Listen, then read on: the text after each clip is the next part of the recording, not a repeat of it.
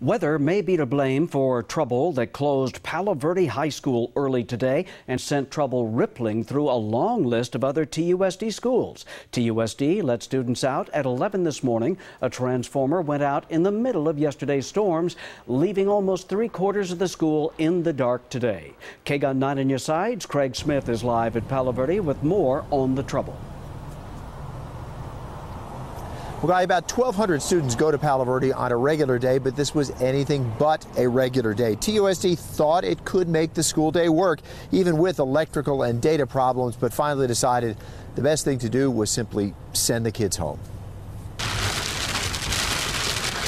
In a way, yesterday's rough weather led TUSD to send Palo Verde students home today.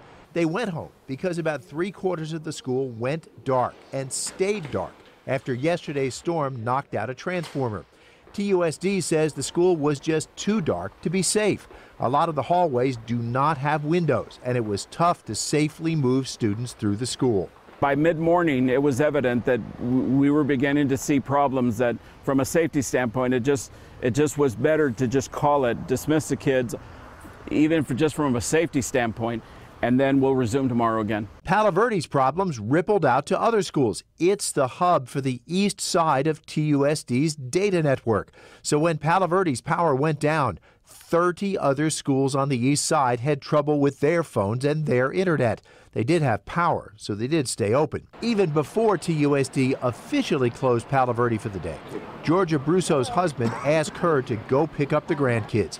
She walked into a school office trying to do its best with a bad situation. They were trying to call out and the phones weren't working. They were having trouble with the computers. They couldn't access the schedules, so they were having to look them up.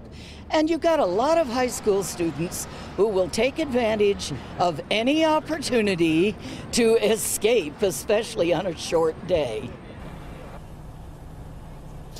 Now, in the past few weeks, there have been some tensions and fights involving Palo Verde High School students, but the district says behavior was good and no one used the power problems as an opportunity to make trouble in those darkened halls. Reporting live, Craig Smith, KGUN 9 on your side.